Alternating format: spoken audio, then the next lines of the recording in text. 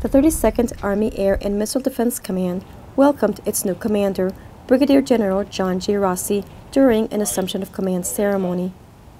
Brigadier General John Rossi now has the responsibility of leading our Army's only organization able to counter air, missile, rocket, and mortar threats on a moment's notice. Brigadier General Rossi said he has been looking forward to commanding the soldiers of the 32nd AAMDC and is committed to leading the troops down a successful path.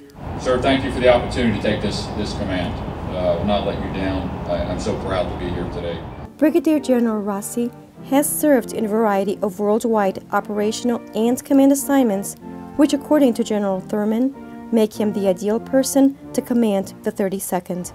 And those same jobs and his unique experiences make him especially qualified to lead this unit and these soldiers in a time when we remain engaged in a protracted conflict and uncertain international security environment. Reporting for Fort Bliss, I'm Lieutenant Colonel Diana Baguet.